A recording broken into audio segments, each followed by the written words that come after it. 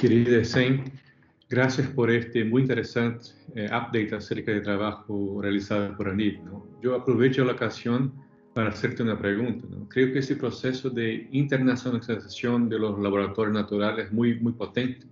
En caso de la astronomía, gracias a los acuerdos, este laboratorio natural se ha convertido en una herramienta de cooperación científica y de diplomacia científica conectando científicos, gobiernos, agencias como la NID, actores de I+.D. con el ecosistema eh, internacional. Ese laboratorio natural va a continuar a crecer. En este siglo Chile va a consolidar su posición como centro mundial de la astronomía con la entrada en operación de grandes nuevos telescopios y observatorios. Y ahí viene por fin mi pregunta, tomando en cuenta los desafíos país y la construcción de la visión futura de Chile, ¿qué aspectos en particular ANID espera un aporte de la astronomía? ¿Y qué mecanismos hay que crear o fortalecer para que este aporte se materialice? Te dejo un abrazo muy grande y más una vez felicitaciones a ti y a todo el equipo de ANID. Muchas gracias. Muchas gracias Claudio por tu pregunta. Eh, siempre un placer tenerte en nuestra agencia, aunque sea de manera virtual. La pregunta que hace es de la mayor relevancia. Desde la agencia durante el último año hicimos un trabajo muy coordinado, con una participación muy activa de todas estas comunidades que tú mencionas, de la sociedad civil, del sector empresarial, eh, de los observatorios, por supuesto, eh, del sector público, las universidades, los investigadores, para responder a estas preguntas.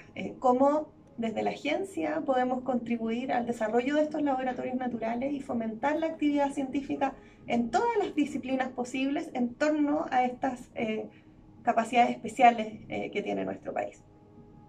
Ese trabajo se hizo tomando como ejemplo eh, o como punta de lanza lo que ha sido la experiencia con los observatorios en Chile. Lo hemos conversado muchas veces y conocemos muy bien esa experiencia, experiencia que ha permitido que el, área de la astronomía crezca y sea una de las disciplinas eh, más productivas en términos de productividad científica en nuestro país, pero además ha permitido el desarrollo de eh, otras capacidades que son fundamentales. Hoy día el trabajo que se hace en astroingeniería vinculado a los observatorios, la relación que los observatorios en conjunto con la agencia han desarrollado con las comunidades indígenas en el norte de nuestro país, así como también los temas de conectividad y el crecimiento de Reuna de la mano de los observatorios que están en el norte, son experiencias y conocimientos clave para el desarrollo de nuestros laboratorios naturales. Entonces, a la pregunta, ¿qué espera uno de la experiencia con la astronomía y con los observatorios? Es ese aprendizaje y ese acompañamiento.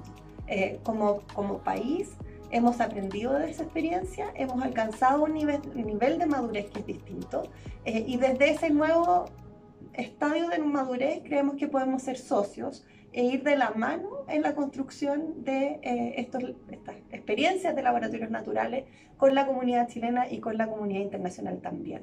Eh, astronomía fue la punta de lanza, nuestros laboratorios naturales se construyen a partir de esa experiencia, pero buscan eh, profundizar la participación de nuestra comunidad científica más allá de lo que ya hemos conseguido de manera muy exitosa con los observatorios.